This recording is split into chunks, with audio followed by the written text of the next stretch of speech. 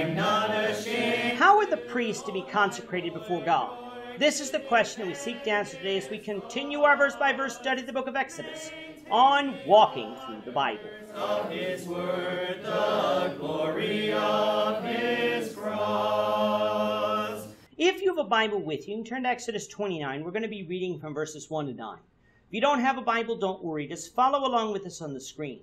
The version that we'll be reading from is the New King James Version. So, Exodus 29, beginning at verse 1. And this is what you shall do to hallow them for ministering to me as priests.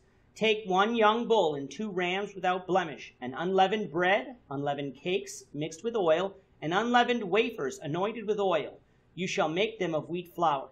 You shall put them in one basket, and bring them in the basket with the bull and the two rams. And Aaron and his sons you shall bring to the door of the tabernacle of meeting, and you shall wash them with water.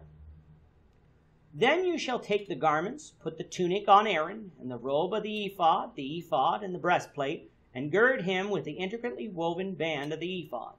You shall put the turban on his head, and put the holy crown on the turban. And you shall take the anointing oil, pour it on his head, and anoint him.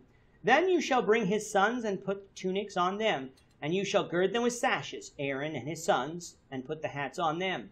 The priesthood shall be theirs for a perpetual statute. So you, will, so you shall consecrate Aaron and his sons. In this chapter, we still have Moses on Mount Sinai receiving instructions from God as to how to build the sanctuary and how to set up the priesthood.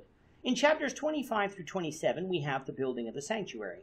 We had instructions on how to make the Ark of the Covenant and mercy seat, how to build the showbread table, how to build the golden lampstand and the altar of burnt offering, and where they would be placed in the sanctuary.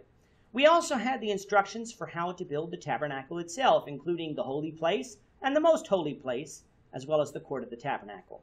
In chapter 28, we had the instructions for the priestly garments. There was a difference between the high priest garments and the common priest garments. However, both were special garments that would sanctify them from among the people. For the first 37 verses of chapter 29, we have the instructions of how Aaron and his sons will be consecrated as priests. It will take us six episodes to go through these instructions, so we invite you to watch each of these episodes.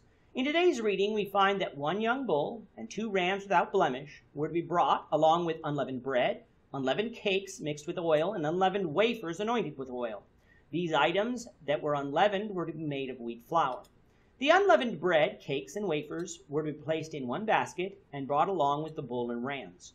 We're going to see what will happen to these things later on in this chapter, so we'll save our comments on them until then. Aaron and his sons were to be brought to the door of the tabernacle of meeting. In other words, this consecration was to be done in public before the people and before God, for it is at the tabernacle of meeting where God met his people.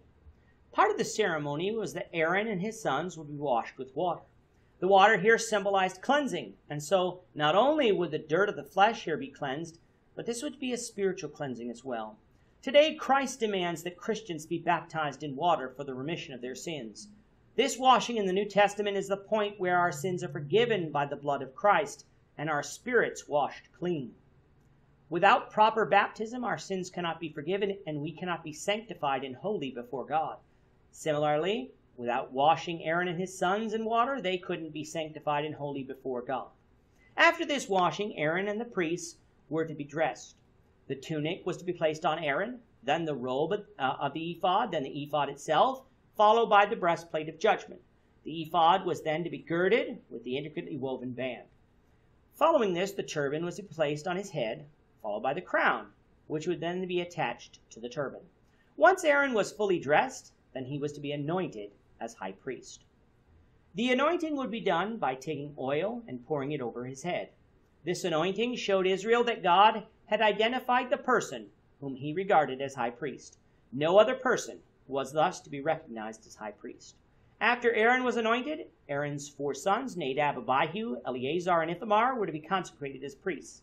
Their consecration was very similar to Aaron's in that they were dressed in their priestly attire, namely the woven tunics of fine linen thread.